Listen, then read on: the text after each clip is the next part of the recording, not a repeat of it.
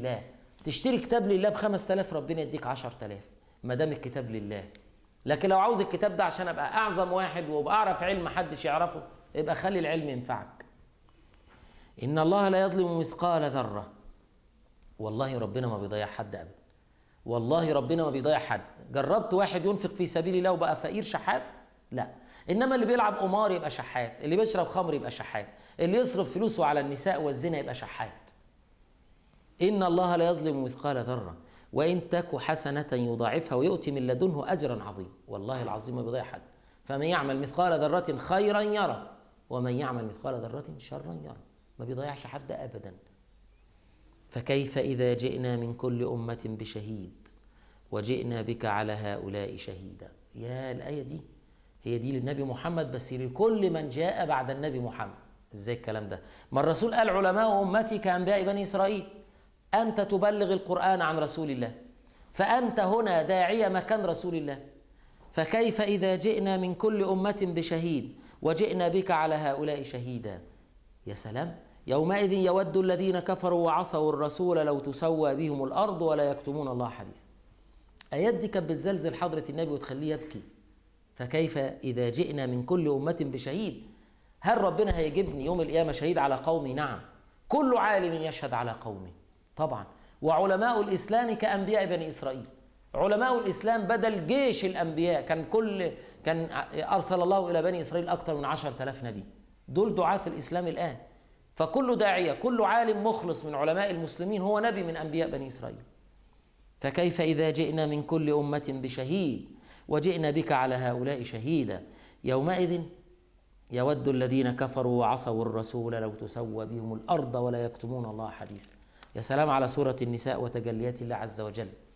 الله سبحانه وتعالى يأمرنا إن إحنا لا نبخل وإن إحنا نتصدق. الصدق أو الصدقة تدل على صدقك مع الله. ما هو أنت مش هتتصدق إلا إذا كنت واثق إن ربنا هيرد لك. لكن الشيطان يجي يقول لك إيه؟ طب ما أنت اللي هتدي لهم دول أغنى منك. واللي هتدي لهم دول طب أنت لو تصدقت من المال ما المال هيقل؟ واحد يقول لك أنا معايا 1000 جنيه لو تصدقت من 200 ما هم بقوا 800 بالحسابات يبقى 800 لكن بحسابات ربنا لا. وما يعلم جنود ربك إلا هو هو اللي بيضاعف الأجر. فإياك أن تظن بالله شرا. إياك أن تظن أنك إن تصدقت يبقى المال هيقل لا. يا أيها الذين آمنوا لا تقربوا الصلاة وأنتم سكارى. آه.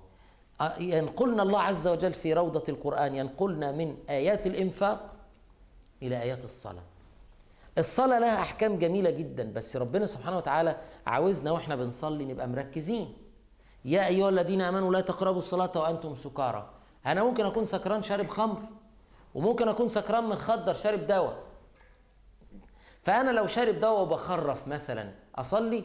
ما أقدرش أصلي حضرتك ما أنا ممكن أقول كلام غلط.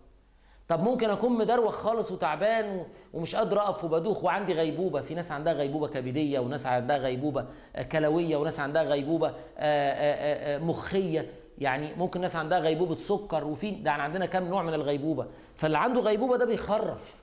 هيصلي؟ عشان كده ربنا قال يا أيها الذين آمنوا لا تقربوا الصلاة وأنتم سكارى. لا انسان واحد يقول لي إيه؟ أما هو سكران هيصلي إزاي؟ هو الشرط اللي سكران شارب خمرة؟ ممكن سكره عالي عنده غيبوبة. ممكن عنده غيبوبة كبد غيبوبة كبدية. عنده غيبوبة كلوية المواد السامة عالية في الدم. واخد دواء مدروخه خالص مش بيخرف.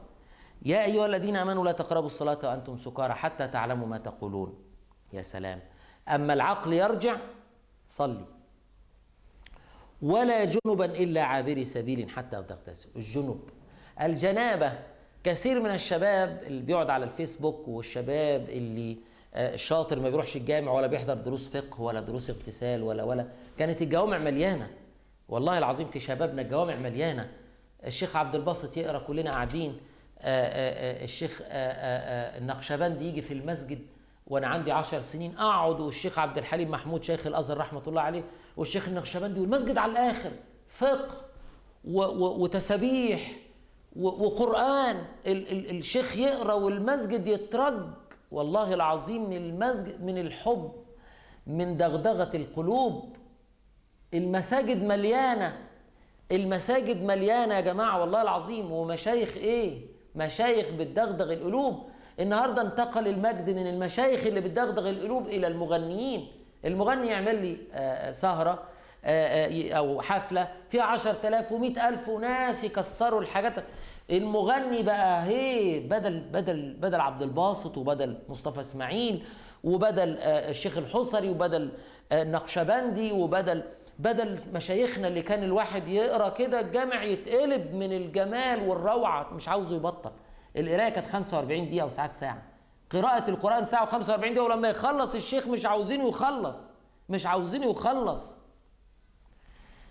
ف دلوقتي بيقول لي ولا جنبا إلا عابر سبيل. إيه الجنابة؟ الجنابة يعني شاب محتلم. يعني إيه محتلم؟ يعني قام من النوم لقى عنده سائل منوي. الشاب ده فوق 16 سنة أكيد. أو إن هو الجنابة عمل حاجة مش كويسة عمل عادة سرية. أو إن هو جامع زوجته فخرج السائل المنوي. إذا خرج السائل المنوي بقى الإنسان ده اسمه جنب. دي الجنابة. والجنابة دي نوعين. في جنابة زي ما بنقول بقى جنابة الحدث الايه الأكبر وفي جنابة الحدث الأصغر وده إن شاء الله هنقوله في حلقة قادمة.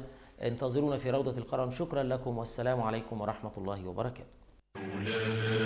إني ببابك مولاي إني ببابك قد بسطت يدي.